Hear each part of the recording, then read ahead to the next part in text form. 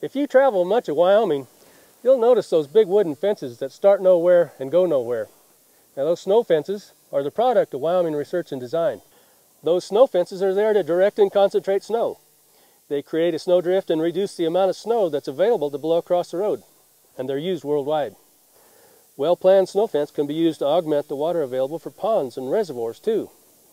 Snow fences are designed to deposit snow, and they are porous. Wind and snow slips through them, but the wind and snow are slowed enough that the snow falls out in very predictable patterns.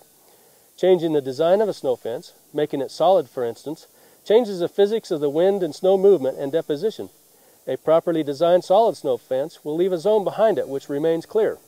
Stockmen often take advantage of this phenomena on the windy plains of Wyoming with windbreaks. Their design directs wind and snow away from an area that we want to remain clear. If you are sometimes challenged with a pile of wind-driven snow, know that you too can manage your snow problem using this good Wyoming research.